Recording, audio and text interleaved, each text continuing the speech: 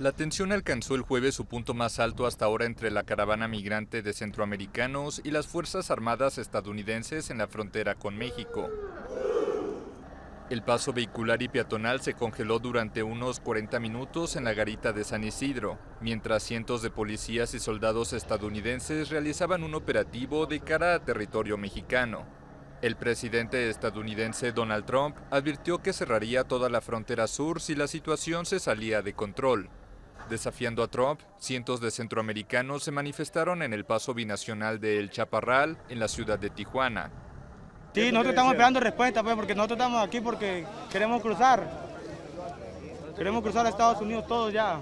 Pues está bien, nomás que lo hicieron un mal día, ¿no? Porque es el día de, de dar gracias y viene haciendo una línea y se queda atorado uno aquí. Tras un maratónico viaje de más de un mes desde San Pedro Sula, ya suman 4.730 los migrantes hacinados en un albergue de Tijuana, pero en todo el estado de Baja California se han concentrado más de 6.000 según cifras oficiales. Algunos integrantes de la caravana se han inscrito en listas de espera para tramitar legalmente el asilo en Estados Unidos, pero muchos se han desanimado al darse cuenta que podrían esperar durante meses para acceder a su turno.